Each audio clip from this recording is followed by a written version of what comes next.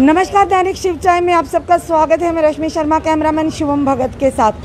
Smart Jammu को smart city बनाने का जम्मू वासियों से आह्वान किया गया, वायदा किया गया है।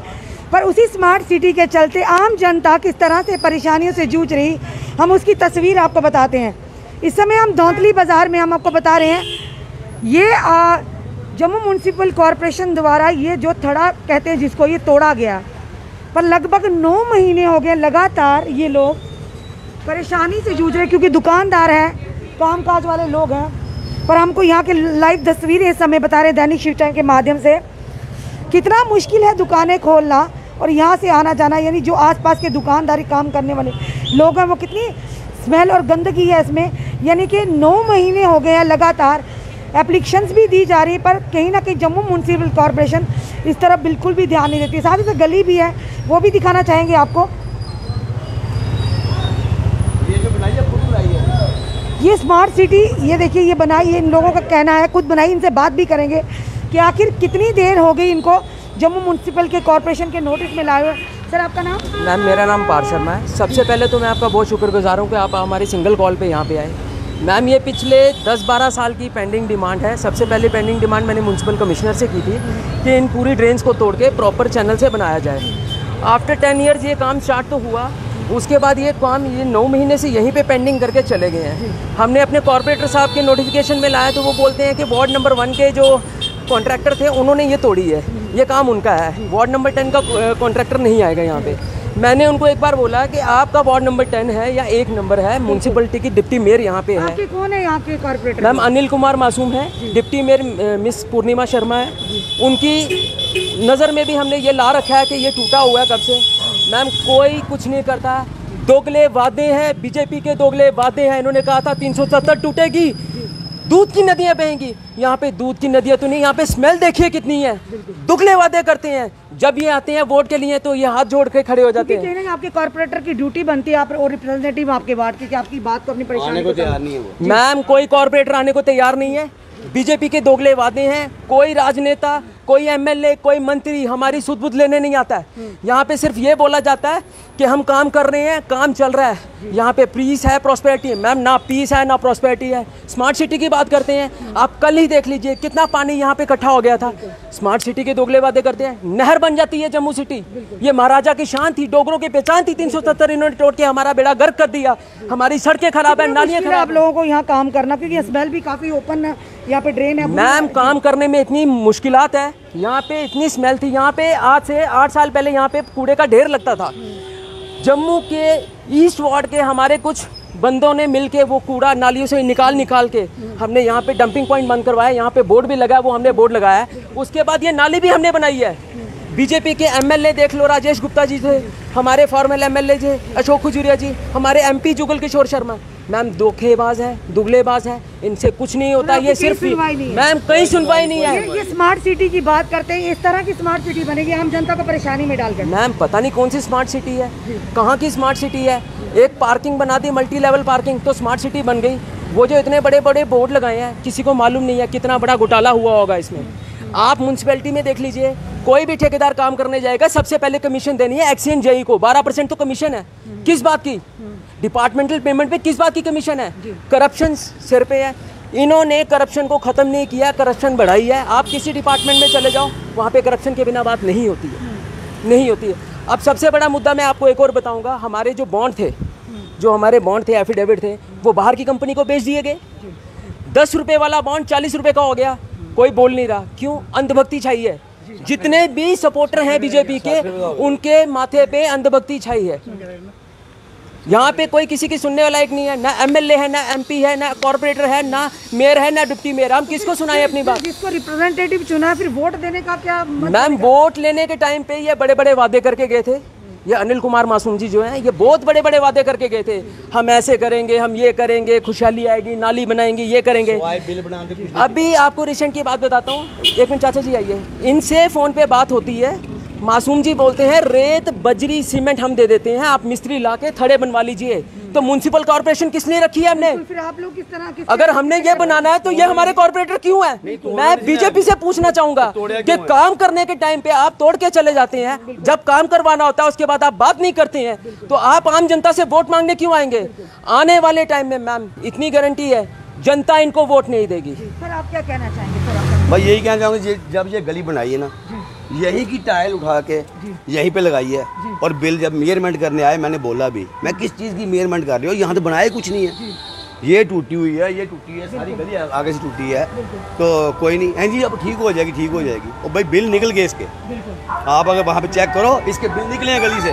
बनाया कुछ नहीं है। या कुछ नहीं है। मसोन कुछ नहीं किया। जब बुलाओ हाँ भाई आ रहे हैं आ रहे हैं आ रहे हैं कभी नहीं। आप अंकल क्या बात करते हैं? आप उनसे हाँ ये घर इनका। ये खुद बनाया इन्होंने देख ये देखो। मैं तो कुछ छः महीने का चक्कर लगा के थक गया हूँ।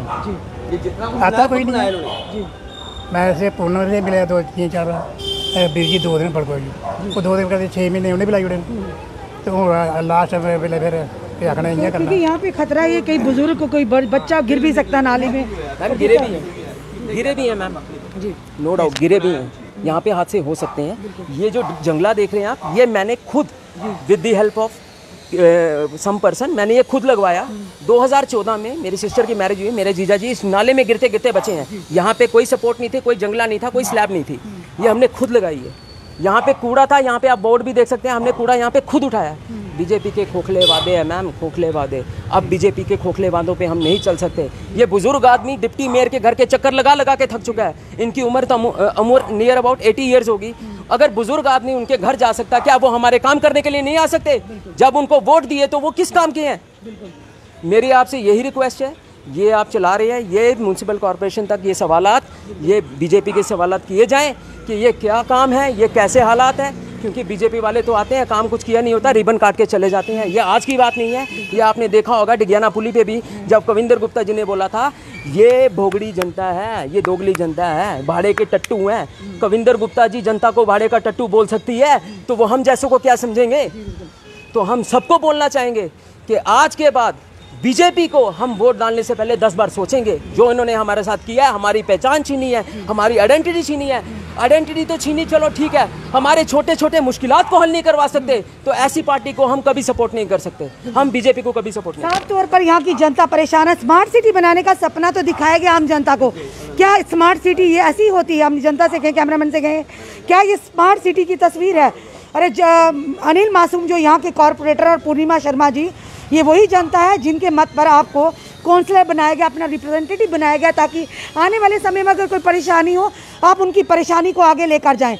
पर जिस तरह से इन बुज़ुर्ग का और इन भाई का कहना है कि लगातार कालें की जाती है, अगर उखाड़ना जानते हो, अगर इसको ठीक करना जानते हो, उखाड़ा तो सही, पर ये नहीं देखा इससे जनता की दिक्कतें कितनी बढ़ जाएगी।